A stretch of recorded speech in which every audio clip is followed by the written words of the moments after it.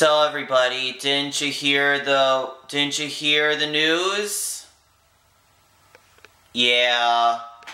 So um this morning while I was watching the third episode, the the the uh, season 3 episode of Mickey and the Roadster Racers, also known as Mickey Mouse Mixed Up Adventures. Well, unfortunately, guys, if you want to know who's the voice of Minnie Mouse now, well, permanently, guys, unfortunately, it's Russi Taylor, even though she died of natural causes like Dolores Hope.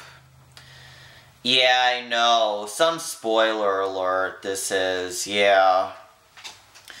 Well, I guess we already spoke out the message already just by watching it on Disney Junior.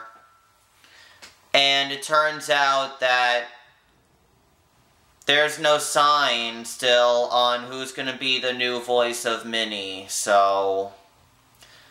I guess we're just gonna have to leave Russi Taylor from that until, I don't know. Who knows, guys?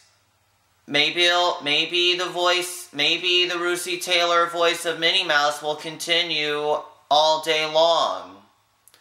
Especially every year, so... Yeah, but you, but you wanna know something?